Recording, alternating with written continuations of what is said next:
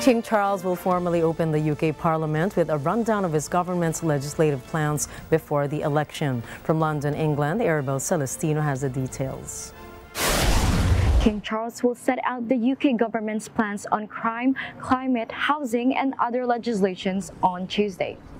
This will be the first time that King Charles will make the speech as the head monarch of the United Kingdom.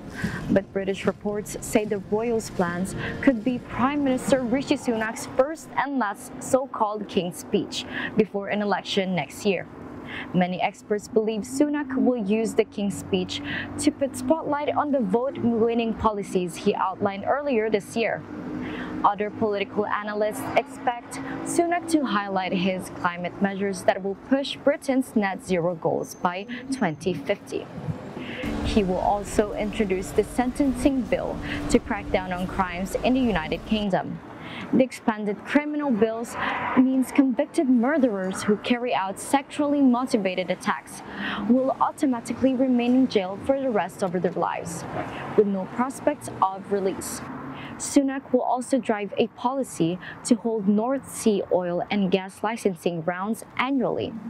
Analysts say the speech of King Charles is crucial as it will add pressure to an informal election campaign one of which the Conservatives hope will close a 20-point gap with the Labour Party. Reporting from London, United Kingdom, this is Arabelle Celestino for Mata ng Agila International, trusted, connected, on point.